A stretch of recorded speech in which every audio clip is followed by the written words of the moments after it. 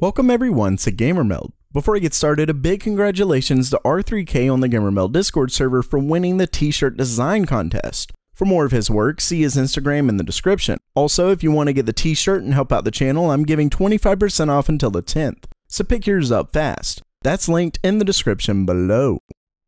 So AMD's second generation 32 core Threadripper is finally making its way to users on the 13th and at the nearly unbelievable price of $1,799. If you're new to CPUs, this may sound like a crazy price, but considering a 10 core CPU cost nearly the same just two years ago, it's definitely a great deal. Well, AMD hasn't stopped at a great price. The company actually just took the world record for Intel's own showcase made just a few months ago. You know, when they thought they'd beat AMD with two extra cores when the rumors pinned Threadripper as a 26 core CPU, then they forgot to tell us the CPU was running at 5 GHz due to the sub freezing temperature cooler? Yeah, that one. Well, AMD's 32 core just beat it in Cinebench's multi thread benchmark, making the 2990WX the new single socket multi thread champ. To do this, AMD got it up to 5.1 GHz on liquid nitrogen. Now, I will say that had Intel's CPU used liquid nitrogen, it may have had a similar score, but remember that Intel's CPU won't be anywhere near the price of AMD's. Currently, the chip that was shown off is believed to essentially be Intel's Xeon 8180, which is a $10,000 CPU.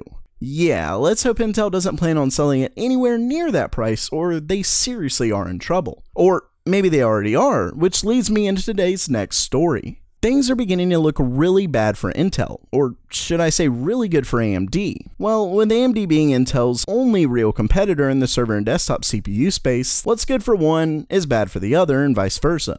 So what am I talking about here? Well, there are a number of things happening right now that's hurting Intel. For one, the continued delay of their 10nm transistor technology.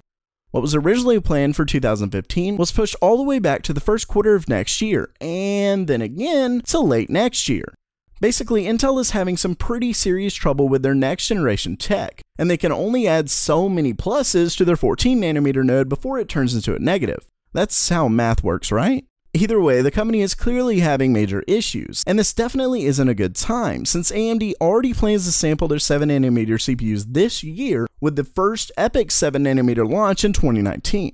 Between that, the recent news from Mercury Research on AMD finally gaining some market share in the server space, and Barclay's lowered rating on Intel's shares leave the company with some serious work to be done. Don't get me wrong, Intel still holds the vast majority of server market share, and many servers are under contract. But if the company doesn't make a serious plan to overturn AMD's push, Intel may really be in trouble moving forward. Lastly, the infamous Z390 is seriously close. How do we know? Well, ASRock has given us all of their upcoming Z390 boards on their support page. As you can see, there's the Z390 Extreme 4, Z390 Pro 4, Z390 Taichi, Z390 Taichi Ultimate, and the Z390M Pro 4. We don't know too much else, but let's just say that Intel's 9th generation CPUs are so close, I can feel the heat. So while that does it for today, what did you think of the news? Excited for AMD or just want Threadripper? Let me know down in the comments below. Plus, don't forget to take 25% off your GamerMeld t-shirt. And as always, have a great day.